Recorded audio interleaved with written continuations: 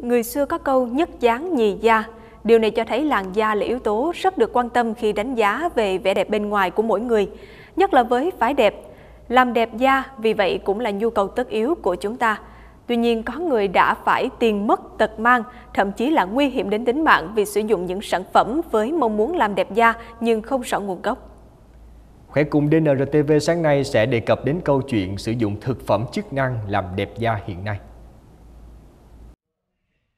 Đây là bệnh nhân nữ 25 tuổi, ngụ tại tỉnh Lâm Đồng, bị nhiễm độc da nặng, vừa được các bác sĩ bệnh viện Gia Liễu thành phố Hồ Chí Minh cứu sống. Bệnh nhân cho biết có bệnh vảy nến. Nghe lời người quen, chị đã mua bộ 7 sản phẩm thực phẩm chức năng không rõ nguồn gốc, có giá gần 5 triệu đồng, với công dụng được giới thiệu là tăng cường sức đề kháng, làm đẹp da, thải độc tố. Sau khi sử dụng được 5 đến 7 ngày thì trên da xuất hiện các nốt ban đỏ, lấm tấm. Nhưng người bán nói là sản phẩm đang phát huy tác dụng thải độc tố nên bệnh nhân tiếp tục sử dụng, dẫn đến tình trạng bỏng da nặng, xuất hiện các ban đỏ, bóng nước và vết trợt chiếm hơn 60% diện tích cơ thể, kèm theo tổn thương niêm mạc mắt, miệng, mũi, suýt tử vong. Các bác sĩ nhận định tình trạng của bệnh nhân do sử dụng thực phẩm chức năng không rõ nguồn gốc, nguy cơ tử vong lên đến 50%. Dạ Phương Thanh xin chào à, bác sĩ Nguyễn Thị Lan ạ. À. thưa bác sĩ thì à, nhân một cái trường hợp mà bệnh nhân nữ bị à, nhiễm độc da nghiêm trọng mà à, chúng ta đề cập đến thì à, bác sĩ có thể nói về cái câu chuyện về thực phẩm chức năng mà làm đẹp da hiện nay thực phẩm mà chức năng hiện nay trên thị thì à, bản thân đó là à, các cái à, thảo dược các chế phẩm mà có nguồn gốc từ à, thực phẩm đều có trong thực phẩm chức năng nhưng à, thì đều không có gây dị ứng. Nhưng mà các cái tá dược và chất bảo quản trong thực phẩm chức năng thì có thể gây dị ứng à, cũng như thuốc thực phẩm chức năng có thể gây dị ứng. Nhẹ thì là mẩn ngứa nổi mày đay à, tiêu chảy nôn ói đau bụng. Còn nặng thì có nghĩa là nổi bóng nước à, à, mụn nước như hội chứng Lienten thì có nghĩa rất nguy hiểm đến tính mạng. Hiện nay thì à, trên à, thị trường có à, thực phẩm rất là đa dạng cũng giống như mỹ phẩm à, có nguồn gốc không rõ ràng.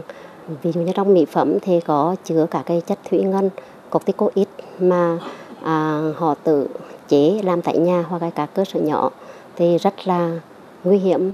Dạ thưa bác sĩ, à, với tên gọi là thực phẩm chức năng á, thì nhiều người cho rằng là à, sử dụng thực phẩm chức năng để làm đẹp da thì à, không bổ bề ngang cũng bổ bề dọc, à, không có ảnh hưởng gì đến sức khỏe.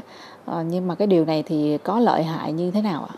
À, chính về quan niệm của người dân là như vậy cho nên là à, nhiều người rất là nhiều người đã tiền mất mặt tật mang sử dụng thực phẩm chức năng là phải cần thiết lắm mới sử dụng hoặc là sử dụng theo chỉ định của bác sĩ à, có những trường hợp à, làm dùng thực phẩm chức năng để ảnh hưởng đến à, tổn thương đến cơ quan như gan thận thì à, lúc đó thì cái chi phí mà điều trị nằm viện gấp 10 đến 20 lần mà số tiền mình bỏ ra để à, mua thực phẩm ban à, chức năng ban đầu. Dạ thưa bác sĩ, thì hiện nay thì ờ, nhu cầu làm đẹp thì rất là cao và ờ, nhiều người thì cũng ờ, mong muốn là sử dụng thực phẩm chức năng để mà có thể cải thiện tình trạng da của mình. Như vậy thì lựa chọn thực phẩm chức năng làm đẹp da như thế nào cho phù hợp và cho không ảnh hưởng đến sức khỏe ạ? Người dân mình nên tham vấn bác sĩ để dùng các cái mỹ phẩm có nguồn gốc và an toàn phù hợp với làn da của mình lựa chọn những sản phẩm mà uy tín chất lượng à, kiểm tra lại bao bì nhãn mát mã vạch nguồn gốc xuất xứ. Tại phòng khám mà gia liễu nói riêng và bệnh viện đa khoa thống nhất nói chung thì đã từng à, điều trị cho những ca nhẹ như bị à, nhiễm demodex ở à, da mặt do sử dụng kem không rõ nguồn gốc. Rồi à, những cái trường hợp mà da mỏng giãn mau mạch tăng sắc tố từ việc mà làm dùng ờ, cái thực phẩm mà ờ, không rõ sản phẩm và thực phẩm không rõ nguồn gốc. À, có những trường hợp nặng nữa thì là à, bệnh viện đã tiếp nhận những cái ca mà à, nổi bóng nước mụn, mụn nước à, hội chứng e ten nguy hiểm tính mạng. Điều trị rất là điều trị rất là tốn kém. Dạ Phương Thanh xin cảm ơn à, bác sĩ Nguyễn Thị Lan đã cùng tham gia chương trình hôm nay ạ.